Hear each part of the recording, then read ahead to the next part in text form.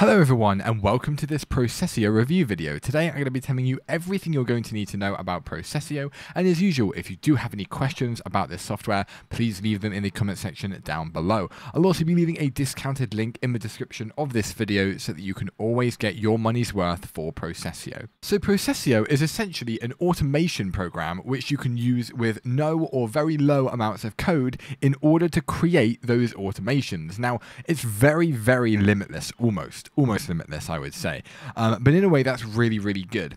And as you can see, we have our main dashboard page here. We have everything we need down the left. We have our account options in the top right and bottom left. We have more tools and some get started things in case we don't need, uh, or we need to know rather, how to do certain things. So we're going to begin with the dashboard. Now, this basically just gives us a little bit of onboarding information, quick start guides, sort of how to spread the word, things like that. Um, but not much information that we'll be able to use yet because we need to actually make a process to begin with. And I'll talk you through how to do it.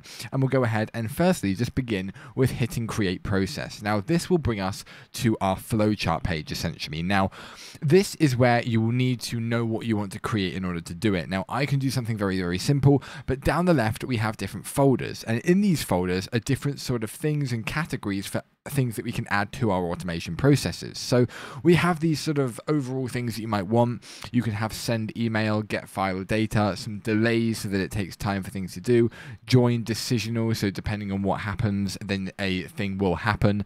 Um, and then you have your folders, which include things like database, documents, date, time, all these other things that you can do. And in order to add them, we won't actually create something very, very big, but I'll show you how you would go about creating something once you know what each of the things do. So if we drag send send email on, what this will do is allow us to simply place this wherever we want. So send email, we'll just put it, say, in the middle. And then what we can do is we can add a delay. So we'll need to make sure the delay will go here. And these will sync up. So these little dots that we have on each of the things, you can sync them with specific parts. So we can have the start and we can link that to delay. And then the delay will go to the send email. And then the send email will simply stop. and that's all you would need to do. You would hit the start button. You would then run it. There would be a delay of however many seconds you want. So you would then configure the action in here and have the time interval for the delay. Send the email. You can then go to send email and then configure who it's from, all the people that it's going to be from, and the body of text of which it will send. And then your stop button button here. And there's a load of things. You can also add custom actions as well. So any that you've got that are completely custom made, you can add them as well. And then obviously looking down all of these things down the left are all the other options that you're able to utilize to create an automation. Then on the right, we have these options here. These are more sort of categorized things, for example. So you have process variables, credentials if you want to add any of them, data models, webhooks if you want to add those as well, schedules, process instances, and also process notifications. Um, so all of these options are obviously usable. You're able to change the title of it, obviously and have this all sync up with the pages that you've got. but when you've actually finished it, you can validate it, um, and then you can also save it if you want to. And once it's saved, this will have completely done, and then let's go ahead and hit validate. Now, this will then give us any errors with what we've created. So it will make sure that your thing is functional before you publish it, and it won't let you publish it before it is fully working. So here, for example, it's telling us that essentially we don't have anyone to send it to. We, don't have a value for the delay. It's just sort of the, the, the thing itself. It doesn't actually have a value or anything applied to it. So it doesn't really know how long to stop it for. And then the email, it doesn't know what server it's going to. It doesn't know who it's sending it to. It doesn't have a subject and it doesn't have a body. So really, these are all the errors. And then we can go ahead and fix them, but we would then clear them when that's done. And then you can run it and then you can get on with all of that stuff. And that's basically the process designer and it will then appear here. But we also have one of these, which is a ready-made one. So if we click on this, it will show us what one that has already been created for us will look like. So your first process, get weather report. And as you can see, you would hit start. It would get the details, the description, the temperature, precipitation, wind, humidity, and what it feels like, generate a document, and then stop. So basically, this is something that if you want to get a weather report as it says, you would be able to run it and get a weather report on the location of which we have. So if we run this, we can put in a city name. We'll just put London very, very simply. And then we'll go ahead and hit run and see what the temperature, uh, temperature is like in London. Check instance. Here we go. Um, and then when it's loaded, it will give us a document and show us what the temperature is like in that country or that city rather. Then you have your credential managers. So you have a weather API, and these are all just the basically all your credential types. So anything that you're linking your automations to or thing that it's gathering information to and from, things like that, you're able to add them all in here. As you can see, call API, send email, execute queries, etc. Um, and this is where you can do it. And you can create a credential simply by going here, and then it will tell, ask you what type it is, what description it is, and what the name of that credential is. And then you can put all of that in, and then we can exit the configuration once that's done.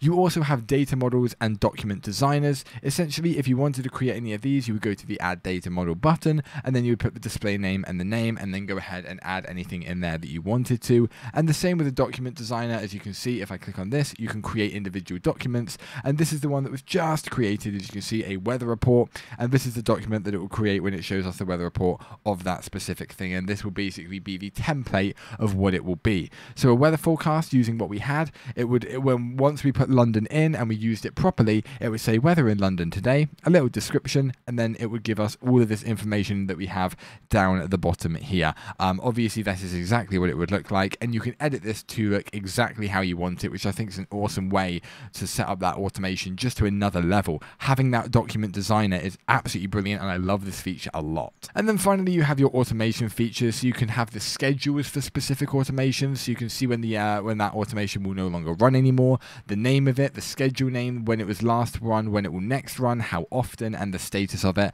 Um, you can uh, uh, create a schedule with all of that information with this button up here.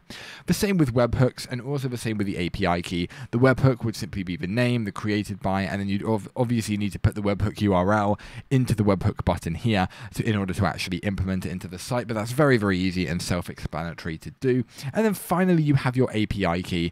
So depending on whether you want to use this on a external area or something like that, you would authorize requests to Procesio API and you can only have three active, but it would simply just give you the name and the value of that key. And then some more tools you have at the bottom, very easily, you have the ones that we looked at earlier, the action designer, the analytics, so basically how well your automation's going, um, things like that that you might want to know about it, statistics, stuff like that, and then also your resources map as well.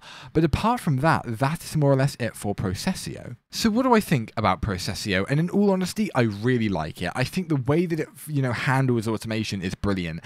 And every day in our day-to-day lives, being able to do all of these things automatically is just a huge benefit. People really want that ease of access, that efficiency, and not having to do things that realistically a computer can very easily do nowadays. And this handles that really, really well. I'd say my favorite part is definitely, I made it clear, is the document designer. Being able to have those documents and simply put in the variables as little things, and then it will autofill that whole document with information that it fetches from an external site and put it in there and make that a completely custom made document for the city that you chose of a location or whatever like that is absolutely phenomenal and I like it a lot. I love the fact that it has integrations with APIs and webhooks. You can simply grab it from anywhere, like weather things, picture websites, things like that that you might want to use it for.